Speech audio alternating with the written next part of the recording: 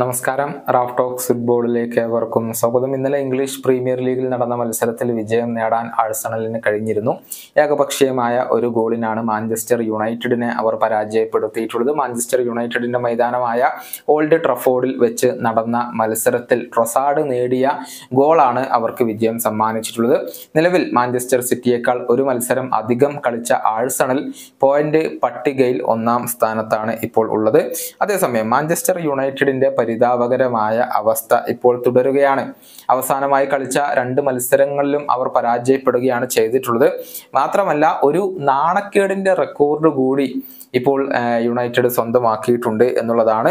ഇന്നലെ ട്രൊസാഡ് കൂടി ഗോൾ നേടിയതോടെ ഈ സീസണിൽ എല്ലാ കോമ്പറ്റീഷനിലുമായി ആകെ എൺപത്തി രണ്ട് ഗോളുകളാണ് മാഞ്ചസ്റ്റർ യുണൈറ്റഡ് വഴങ്ങിയിട്ടുള്ളത്. ആയിരത്തി തൊള്ളായിരത്തി എഴുപത്തി ഒന്നിന് ശേഷം ആദ്യമായാണ് ഇത്രയധികം ഗോളുകൾ മാഞ്ചസ്റ്റർ യുണൈറ്റഡിന് വഴങ്ങേണ്ടി വരുന്നത്. ഏകദേശം അൻപത് വർഷത്തിന് ശേഷമാണ് ഇത്രയും വലിയ ഒരു മോശം പ്രകടനം ഡിഫൻസിന്റെ ഭാഗത്ത് നിന്നുണ്ടായിട്ടുള്ളത്. എറിക് ടെൻഹാഗിന് ഇക്കാര്യത്തിൽ വലിയ വിമർശനങ്ങളാണ് ഇപ്പോൾ ഏൽക്കേണ്ടി വരുന്നത്. നമുക്കറിയാം നിലവിൽ ഇംഗ്ലീഷ് പ്രീമിയർ ലീഗിൽ എട്ടാം സ്ഥാനത്താണ് മാഞ്ചസ്റ്റർ യുണൈറ്റഡ് ഉള്ളത്.